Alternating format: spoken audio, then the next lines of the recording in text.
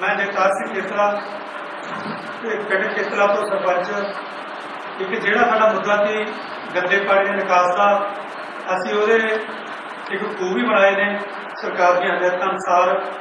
ਬਾਕੀ ਇੱਕ 12ਵੀਂ ਦੇ ਸਕੂਲ ਦੀ ਸਾਡੀ ਬਹੁਤ ਵੱਡੀ ਮੰਗ ਹੈ।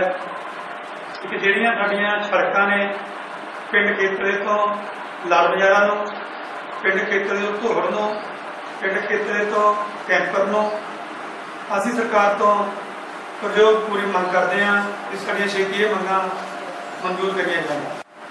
ਮੈਂ ਆਪਣੇ ਭਰਾਵਾਂ ਨੂੰ ਤੇ ਵੀਰਾਂ ਨੂੰ ਤੇ ਬੇਟਿਆਂ ਨੂੰ, ਜਵਾਕਾਂ ਨੂੰ ਇਹ ਬੇਨਤੀ ਕਰਦਾ ਹਾਂ ਨਵੇਂ ਮੁੰਡਿਆਂ ਨੂੰ ਵੀ ਤੁਸੀਂ ਨਸ਼ੇ ਛੱਡ ਕੇ ਸਾਰੇ ਜਿਹਦੇ ਕੋਈ ਏਕੜ ਦੁੱਕੜ ਬੱਚੇ ਹੈਗੇ ਨੇ, ਉਹ ਖੇਡਾਂ ਵੱਲ ਆਉਣ।